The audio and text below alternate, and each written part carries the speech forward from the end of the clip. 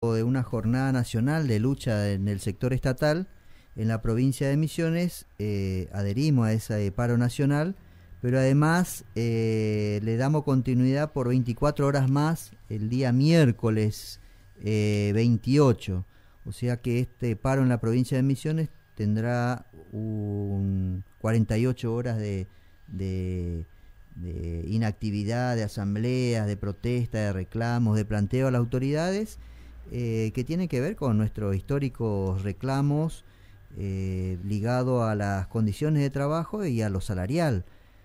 un salario totalmente horadado por la, el proceso inflacionario eh, y todo lo que tuvo que ver en estos últimos ocho meses en donde nuestro poder adquisitivo se, se fue hasta el piso. Ese 25% que nos otorgaron en marzo eh, ha quedado lejos de cubrir eh, nuestra, nuestras, nuestras necesidades, la necesidad de nuestra familia.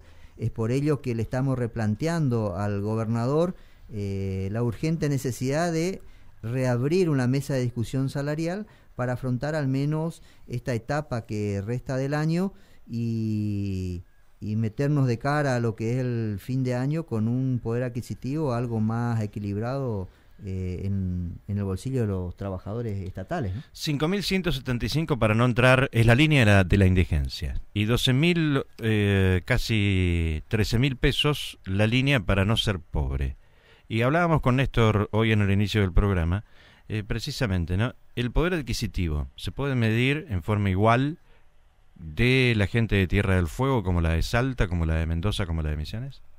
Bueno, eh, hay, de hecho, el propio INDEC eh, toman distintos parámetros de acuerdo a la región de, del país en eh, que habitamos, pero las necesidades individuales y familiares tienen que ver justamente con un paquete de gastos que tiene que ver, que están la alimentación, la vestimenta, la vivienda, los servicios y justamente los ingresos de una gran mayoría de los trabajadores y no únicamente estatales, estamos lejos de esa suma.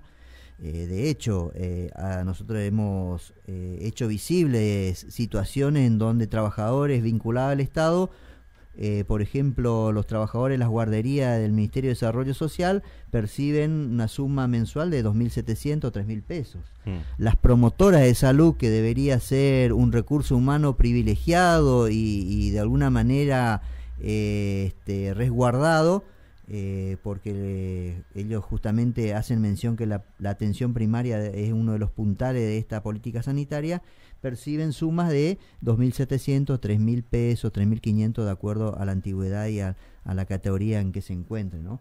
Pero realmente sumas por debajo siquiera de la línea de indigencia. Esta, estos trabajadores, además de ser eh, integrantes de los propios barrios en donde ellos trabajan, las condiciones donde vive realmente eh, es lamentable, ¿no?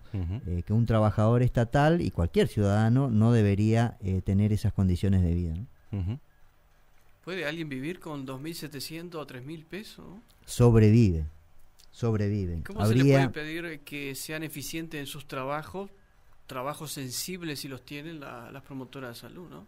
No, realmente eso tratamos de transmitirle al vicegobernador y, y al ministro de Salud, eh, ponerse en el lugar de otro. Este eh, eh, lo que lo que es la tratar nosotros en salud decimos que debemos tener empatía ponernos en el lugar del otro no eh, habría que preguntarle al ministro de salud si él puede sobrevivir con ese ingreso con tres mil pesos y puede cubrir las necesidades de su hijo de comprarle una zapatilla una vestimenta que coma el alimento que quiera un, un, un yogur una fruta un postre.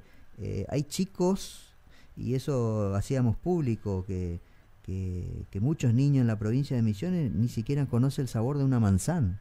Hay muchos niños que en la provincia de Misiones que no conocen el sabor de una manzana, una pera, porque eh, no, no consumen, no, no tienen la posibilidad de adquirir una, una pera, una manzana, ni siquiera hablar de una frutilla, no sé.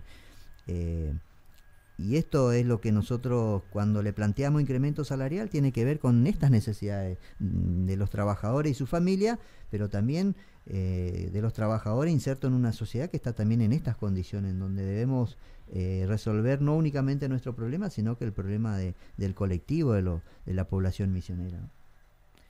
Mañana adhieren también eh, todo lo que son gremios de base de la CTA autónoma, ¿no? Sí. ATE, UTEM, en la provincia de MPL, sectores que vienen a pertenecer a, la ausencia, ¿no? Si bien vos venís del sector de la salud, pero tenés este, mucha relación con ellos, ¿no? Sí, son, eh, de hecho son eh, organizaciones gremiales de base de la Central de Trabajadores, eh, pero además mañana va también va a tener el acompañamiento del Frente Gremial Docente que lidera Estela Genesil y, Mariana Lescafete, que no están bajo el paraguas de la CTA, pero están planteando también algunos ejes que tenemos en común. Bueno, mañana también adhieren por una convocatoria que hizo CETERA, ¿no?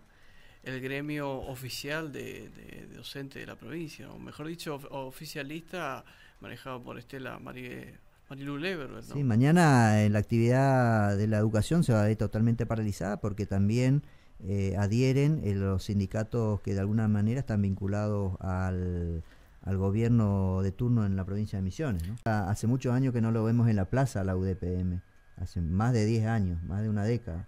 Eh, y no creo que mañana estén en la plaza. Por ahí sí, muchos afiliados a la UDPM, como, como está sucediendo, vienen acompañando nuestros reclamos y se vienen manifestando eh, y no así la dirigencia sindical, al gobierno provincial. Al gobierno provincial, porque acá el responsable, nuestro patrón es el gobernador. Mientras su titular se saca fotos con el gobierno provincial, con el eh, gobernador. Sí, bueno, estas son las incongruencias y la de, que tienen alguna dirigencia gremial, que, que bueno, allá ellos eh, tendrán que responder seguramente a sus, a sus afiliados y, a, y al, común de la sociedad, a la, a la sociedad toda, mejor dicho, eh, pero bueno, creo que estamos en un momento coyuntural en donde la situación económica eh, de todas las familias trabajadoras está pasando por un momento donde requiere que se oriente recursos y se vuelque a, la economía interna, al mercado interno, en donde nosotros este, de alguna manera también motorizamos la actividad comercial en nuestras localidades cuando